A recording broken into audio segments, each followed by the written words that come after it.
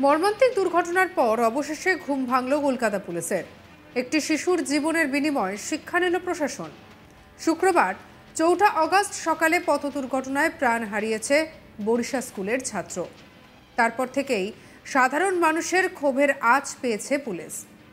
অভিভাবক, ছাত্রছাত্রী এবং সাধারণ মানুষের দাবি দাওয়া মেনে শনিবার পাঁচই অগস্ট থেকে স্কুলের সামনে মোতায়েন করা হয়েছে ট্রাফিক সার্জেন্ট। বেহালা চৌরাস্তা মোড়ে পুলিশি নিরাপত্তা চোখে পড়ার মতো। বরিশা হাই স্কুলের সামনে এবং চৌরাস্তা মোড়ে ড্রপ গেট লাগানো হয়েছে ইতিমধ্যেই। পুলিশ বাহিনী মোতায়েন করা হয়েছে। সাইকেল এবং পায়ে হেঁটে যাওয়ার জন্য আলাদা একটি লেন তৈরি করা হয়েছে। তবে প্রশ্ন একটাই, যদি এই নিরাপত্তাগুলো আগে নেওয়া হতো, তাহলে কি মর্মান্তিক দুর্ঘটনা ঘটতো? উল্লেখ্য, শুক্রবার চৌঠা অগাস্ট বাবার সঙ্গে পরীক্ষা দিতে যাওয়ার সময় লরির ধাক্কায় মৃত্যু হয় বরিশা হাই স্কুলের প্রাথমিক বিভাগের ছাত্র সৌরনীল সরকারের। দুর্ঘটনায় গুরুতর জখম হন সৌরনীলের বাবাও। দুর্ঘটনার পরে অগ্নিগর্ভ হয়ে ওঠে গোটা এলাকা।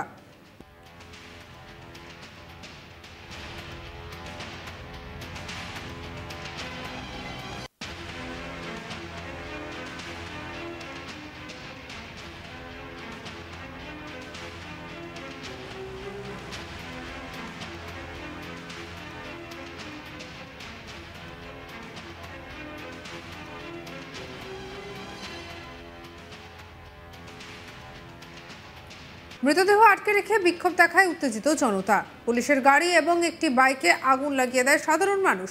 বিক্ষোভের জেরে অবরুদ্ধ হয়ে পড়ে ডায়মন্ড হারবার রোড। পরিস্থিতি নিয়ন্ত্রণে আনতে অতিরিক্ত র্যাফ নামানো হয়। পরে শিশুটির মৃতদেহ পুলিশ ভ্যানে করে তুলে নিয়ে যায় পুলিশ।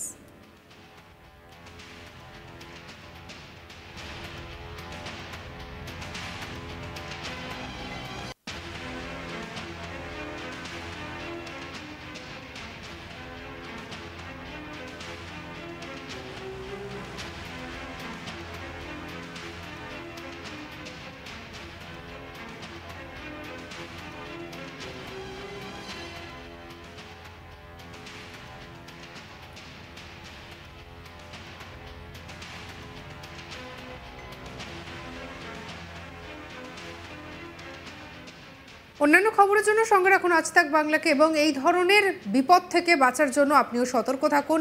পুলিশ প্রশাসনকে যদি কোনো জায়গায় গিয়ে দেখেন যে সমস্যার মধ্যে পড়তে হচ্ছে বা আপনার কথা শুনছে না, তাহলে অবশ্যই সেই বিষয়গুলো জানাতে পারেন। আপনার অভিজ্ঞতা আপনি শেয়ার করতে পারেন কমেন্ট সেকশনে অন্যান্য খবরের জন্য লাইক শেয়ার করতে ভুলবেন না। সাবস্ক্রাইব করুন চ্যানেলটিকে প্রেস করুন বেল বাটন